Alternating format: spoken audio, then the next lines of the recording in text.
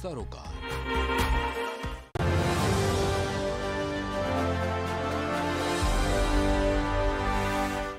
नमस्कार prime TV में आपका स्वागत है। मैं हूँ आपके साथ शिखा मेहरोत्रा शुरुआत करते हैं उत्तर प्रदेश खबरों की। आज उत्तर प्रदेश की राजधानी लखनऊ, रायबरेली, पीलीभीत, लखीमपुर, खीरी, सीतापुर, हरदोई, फतेहपुर, बांदा और उन्नाव की उनसठ सीटों पर वोटिंग हो रही है। बीते घंटे के लिहाज से ये मतदान धीमा है, जबकि राजनाथ और मायावती समेत कई दिग्गज वोट डाल चुके हैं। वहीं योगी सरकार के कई मंत्रियों ने भी वोट डाला। चौथे चरण में जिन दिग्गजों की किस्मत दाव पर लगी है, उन्होंने अपनी अपनी जीत के दावे किए हैं। इस बीच राजनाथ ने जीत का दावा किया, जबकि मायावती ने समाजवादी पार्टी पर तीखा हमला बोला। मायावती ने कहा कि एसपी के राज में दलितों पर अत्याचार हुए हैं और इस बार मुसलमान भी बीएसपी के साथ है।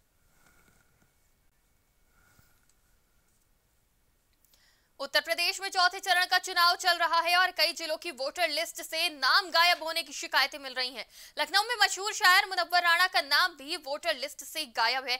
नाम ना होने पर नाराज़गी जताते हुए शायर मुनव्वर राणा ने कहा कि जब हुकूमत खुद वोट देने का मौका नहीं दे रही है तो दुख किस बात का? इस दौरान मुनवर राणा ने कहा कि पिछली बार मेरा वोट था। मैं इल्ज़ाम नहीं लगाऊँगा कि मेरा वोट जानबूझकर काट दिया, लेकिन मेरा वोट ना आने से अंदाज़ा लगाया जा सकता है कि ये सुशासन नहीं, कुशासन है। बद इंतजामी की वजह से हमारा पर्चा हमारे पास नहीं आया है और हम वोट नहीं डाल सके। दिल्ली के मुख्यमंत्री और आम आदमी पार्टी के राष्ट्रीय संयोजक अरविंद केजरीवाल आज रुधौली विधानसभा के रुधौली बाज़ार में एक विशाल जनसभा को संबोधित करने पहुँचे थे। रुधौली विधानसभा से आम आदमी पार्टी के प्रत्याशी अड्डमा स्टेट पूर्व विधायक आदित्य विक्रम के पुत्र और युवराज पुष्करादित्य सिंह के समर्थन में केजरीवाल ने लोगों से अधिक से अधिक वोट करने की अपील की। आगे संबोधन में दिल्ली सीएम केजरीवाल ने विपक्ष पर जमकर हमला बोला और कहा कि उन्हें पीएम मोदी अमित शाह और योगी जी सहित पूरी बीजेपी आतंकवादी कहती है तो वो आतंकवादी है। भ्रष्टाचारियों के लिए केजरीवाल आतंकवादी है। केजरीवाल ने योगी सरकार पर भी जमकर निशाना साधा। इस दौरान मंच पर आप नेता संजय सिंह सहित पूर्व विधायक आदित्य विक्रम सिंह और तमाम आप पार्टी के नेता मौजूद रहे। उत्तर प्रदेश में घूम रहा हूँ। और मैं देख रहा हूँ, जहाँ जाते हैं, वहीं बीजेपी दूसरी पार्टियाँ जितनी हैं, ये अपने काम नहीं गिना रहे कि हमने पाँच साल में क्या काम करे।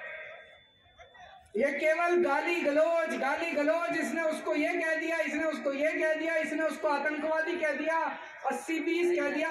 अरे तुमने पाँच साल काम करा पाँच साल सरकार चलाई मुख्यमंत्री रहे पाँच साल कुछ काम तो गिना दो। तुमने काम क्या करे पाँच साल?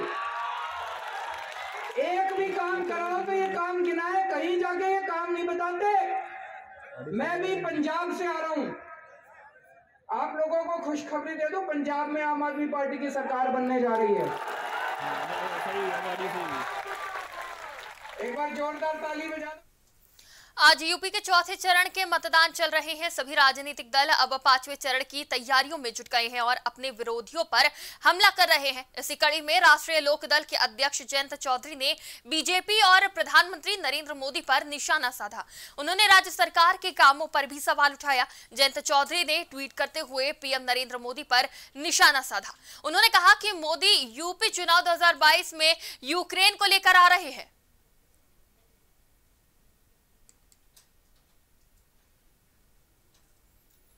उत्तर प्रदेश के चौथे चरण में नौ जिलों की उनसठ सीटों पर मतदान जारी है। सुबह सात बजे वोटिंग शुरू होते ही बीएसपी के सुप्रीमो मायावती घर से निकली और लखनऊ में अपना वोट डाला। वोट देने के बाद मायावती ने कहा कि मुसलमान समाजवादी पार्टी से खुश नहीं है, वो उन्हें वोट नहीं देंगे।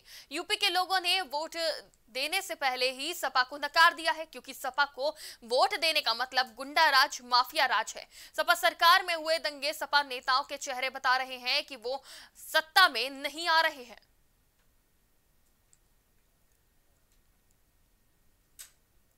फतेहपुर में चौथे चरण के मतदान की प्रक्रिया सुबह सात बजे से शुरू हो गई थी। छह विधानसभा सीटों के लिए इक्यासी प्रत्याशियों के नाम भरे गए हैं। बूथों पर लंबी कतारों के साथ चुनाव आयोग ने गाइडलाइंस जारी कर दी है। चुनाव आयोग ने दिव्यांगों के लिए मतदान बूथों पर व्हील चेयर की व्यवस्था करने की बात कही थी। लेकिन विकास खंड खजुआ मुख्यालय में व्हील चेयर की सुविधा उपलब्ध नहीं कराई गई। प्राइम टीवी के संवाददाता ने मतदान करने के बाद लोगों की प्रक्रिया जाननी चाहिए तो लोगों ने अपनी प्रक्रिया को बेबाकी के साथ प्राइम टीवी के साथ साझा किया है। आप भी सुनिए। मुख्य उद्देश्य हम्म। जीतने का। किसको जीत जिताने का या जीतने का? किसको जिताने का? मैं ये नहीं बताऊँगा किसी को। मैं जो बताता कोई कोई उद्देश्य तो रहा होगा ना? उद्देश्य जो है तो आपको दस तारीख को प्रमाण मिल जाएगा। क्यों परेशान? है?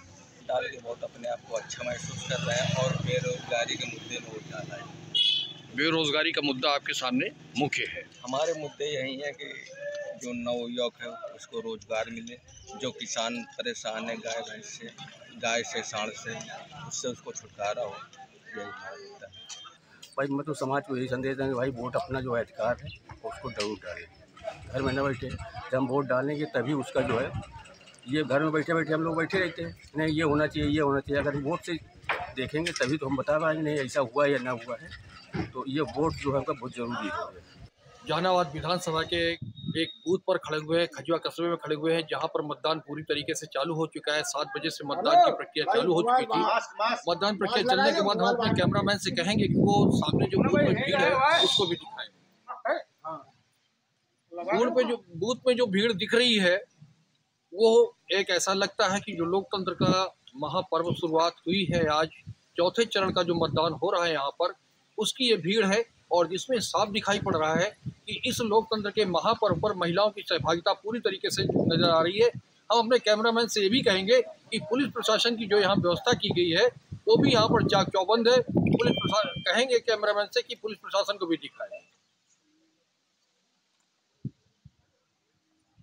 साथ में यहाँ पर जो चुनाव आयोग की जो गाइडलाइन जारी हुई थी कि यहाँ जो जो भी मतदाता दिव्यांग होगा उसके लिए यहाँ व्हील चेयर की व्यवस्था की जाएगी और व्हील चेयर की व्यवस्था यहाँ तो बिल्कुल भी नहीं साफ़ नज़र आ रही पर हाँ इतना ज़रूर है कि जो दिव्यांग के साथ में जो उसका परिजन आ रहा है मतदान करवाने के लिए, वो दिव्यांग को अपने साथ ले जा करके, वोट डलवा करके फिर वापस लेके जा रहा है। तो ये ज़रूर कहीं ना कहीं ऐसी प्रशासन की नाकामी सामने आ रही है, जहाँ पर कि खुलेआम धज्जियाँ उड़ाई उड़ाई दिखती, दिखाई जा रही हैं और यहाँ जो पुलिस प्रशासन इस बूथ पर लगा है वो लगातार लोगों को मतदाताओं को बराबर जागरूक कर रहा है कि बूथ के अंदर ना तो मोबाइल जाएगा और जो भी मतदाता जाएगा वो मतदान कर, करने के लिए जो है मास्क लगा कर ही जाएगा।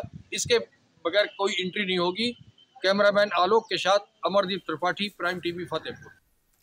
गोरखपुर में भारतीय जनता पार्टी के राष्ट्रीय अध्यक्ष जेपी नड्डा मीडिया से रूबरू होने पहुँचे थे।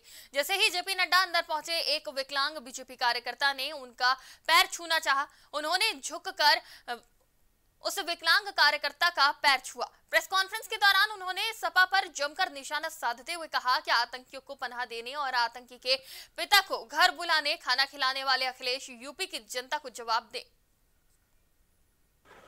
31 दिसंबर 2007 और 1 जनवरी 2008 की रात और सुबह सीआरपीएफ के कैंप पर रामपुर में ए के से अटैक हुआ। इस अटैक में सात जवान मारे गए, सात परिवार विधवा हो गए बहने विधवा हो गई, माताएँ सुनी हो गई, परिवार के बच्चे अनाथ हो गए। एसटीएफ यूपी और एनआईए ने नेपाल और भारत के बॉर्डर पर एक व्यक्ति को पकड़ा जिसका नाम था शहाबुद्दीन। ये शहाबुद्दीन लश्कर ए तोयबा का भारत का कमांडर इन चीफ था, बिहार का रहने वाला था। अखिलेश जी ने यही 26 बारह 2012 को इनको भी माफ़ी दी और ये केस विड्रॉ किया। इलाहाबाद हाईकोर्ट ने फिर से कहा कि आप विड्रॉ नहीं कर सकते हो। पूछताछ हुई शहाबुद्दीन से, सात लोग पकड़े गए। चार को सजाए मौत हुई और तीन को आजीवन कारावास हुआ। मैं आपके सामने अखिलेश जी से पूछता हूँ कि आप प्रदेश के मुख्यमंत्री होते हुए आपने आतंकवादियों की रक्षा की और संविधान की धज्जियाँ उड़ाई। गाजियाबाद में नगर निगम ने वसुंधरा सेक्टर 15 में सड़क के किनारे ग्रीन बेल्ट से अतिक्रमण हटाया। वहीं अतिक्रमण हटाने को लेकर रेहड़ी पटरी वालों ने विरोध जताया, जिसके बाद नगर निगम के कर्मचारियों ने रेहड़ी पटरी वालों के साथ मारपीट की। जिसमें रेहड़ी पटरी वालों का आरोप है कि नगर निगम का सुपरवाइजर उन्हें धमकाता है। वही जोनल प्रभारी सरिता सिंह मौके पर मौजूद थी। रेहड़ी पटरी वालों का कहना है कि उनको रजिस्टर्ड दुकानों के लिए बोला जा रहा है। सर, एक वीडियो वायरल हुआ है जिसमें कुछ दुकानदारों के साथ कुछ सामान का, उनका आरोप है फेंका फेंकी हुई है। उसको लेकर इंदिरापुरम थाने में कुछ लोगों ने तहरीर दी है, नगर निगम के कर्मचारियों के खिलाफ। क्या मामला है देखिए समय समय पर नगर निगम के द्वारा जो अतिक्रमण, अस्थायी अतिक्रमण होते हैं, उनके खिलाफ अभियान चलाया जाता है। और ये अभियान, कई बार हम लोग, रूटीन में भी चलाते हैं, कई बार माननीय न्यायालय के आदेश के क्रम में भी चलाते हैं। और ये एक मैसेज देने की हम लोग कोशिश करते हैं समय समय पे कि कि जो आप वेंडिंग करते हैं, जो भी करते हैं, एक जगह पे ही वेंडिंग कर सकते हैं। ये नहीं है कि किसी को अधिकार नहीं है कि वो कहीं भी कुछ भी लगा के सेल करना शुरू करते हैं। इसके लिए हमारे स्टेप होते हैं। पहली बार में हम टोका टाकी करते हैं। टोका टाकी करने के बाद भी अगर वो नहीं सुधरते हैं तो उसके बाद में हम उनको नोटिस भी देते हैं या अनाउंसमेंट भी करते हैं। अनाउंसमेंट करने के बाद भी अगर कोई एडमेंट होता है तो फिर हमारी जो हमारा जो ई है, जो दस खबर फरीदाबाद से है, जहाँ पर पर्वतीय कॉलोनी में लगे मोबाइल टावर के विरोध में स्थानीय लोगों ने अपना विरोध दर्ज कराया। टावर वाले स्थान के पास में ही बच्चों का स्कूल है। लोगों का आरोप है कि इस टावर के लगने से लोगों को बीमारियों का खतरा बढ़ जाएगा। दीपा कौन सी गली है और कौन सी कॉलोनी है? यही गली है हमारी पर्वतिया कॉलोनी। किस लिए विरोध प्रदर्शन कर रहे हैं आप गली में? इसमें वो कर रहे हैं बच्चे इनके मारे हमारे बीमारी फैलेगी सबकी फैलेगी टावर है क्या किसी टावर लग रही है यहाँ। तो क्या दिक्कतें बढ़ सकती है आप लोगों के लिए टावर लगने से? क्यों नहीं है परेशानी सब परेशानी है।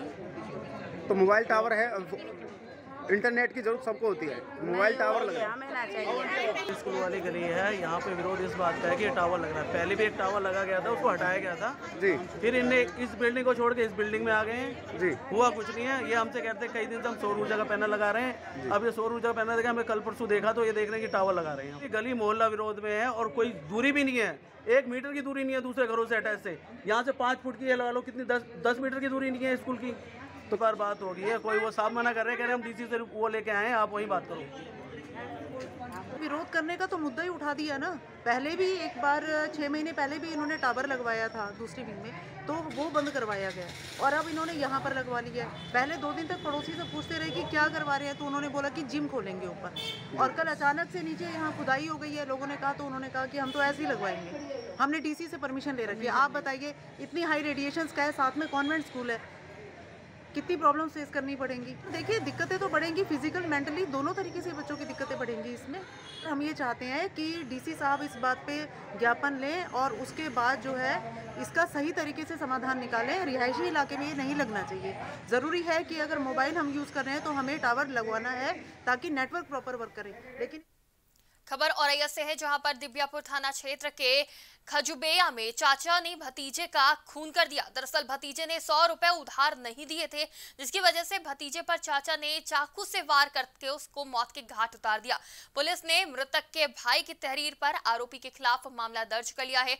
घायल को जिला अस्पताल पहुँचाया गया है जहाँ उसकी मौत हो गई। क्या नाम है तुम्हारा? हमारा नाम सरमन है। क्या मामला हुआ आज? इसने हमारे भाई की डेथ हो गई है। किसने डेथ कर दी? परिवार के चाचा थे होशियार सिंह नाम है उनका। किस बात के पीछे उन्होंने मारा? कुछ नहीं ऐसी बातचीत कर रहे थे बैठे थे चार पाँच लोग। वहाँ पे गए ये अचानक पीछे से हमला किया उन्होंने और उनको चाकू से उनकी मृत्यु कर दी। और कोई पुरानी रंजिश थी क्या? कुछ नहीं पुरानी कोई रंजिश नहीं। तो बात क्या थी? मतलब क्या कुछ नहीं बात ऐसी सवेरे कुछ बात हुई होगी तो उनके सौ दो सौ रुपये ले लिए होंगे तो बोले थे, अभी हम दे देंगे थोड़ी देर बाद।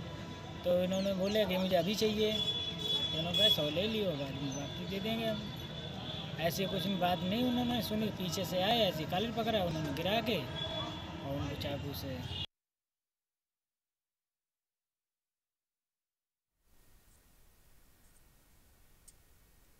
उत्तर प्रदेश की खबरों में फ़िलहाल इतना ही, तमाम खबरों के लिए देखते रहिए प्राइम टीवी।